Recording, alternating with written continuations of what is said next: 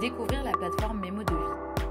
Mémo de Vie est une plateforme gratuite et sécurisée pour sortir des violences. Soutenue par nos partenaires et mécènes depuis deux ans. Et portée par France Victime. Retrouvez nos expertises d'aide aux victimes en quatre fonctionnalités. Le journal pour raconter le vécu. Mes documents pour sécuriser et centraliser les documents et médias. Les contacts pour accéder à des relais d'aide et d'écoute bibliothèque de ressources simples et fiables.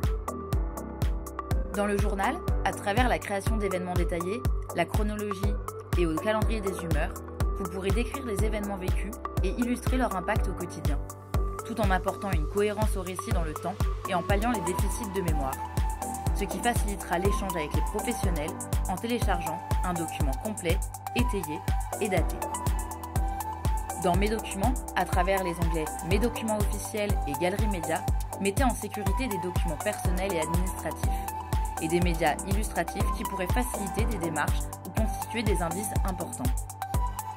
Dans les contacts, à travers les contacts utiles et le répertoire, accédez à des informations pour prendre contact avec des relais d'aide et sécuriser en discrétion des contacts. Dans la bibliothèque, consultez des ressources simples et fiables sur les thématiques droit, santé, social, suis victime et les réponses à vos questions sur la plateforme, dont un guide d'utilisation traduit en plusieurs langues pour faciliter l'information pour toutes et tous.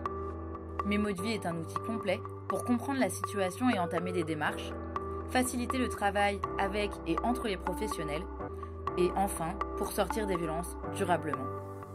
De plus, l'outil a été pensé pour répondre à des besoins spécifiques de sécurité et nous avons notamment mis en place le bouton Vite, je quitte pour se déconnecter rapidement et en toute discrétion de la plateforme. Pour en savoir plus ou pour diffuser l'outil, consultez la plateforme et nos réseaux sociaux.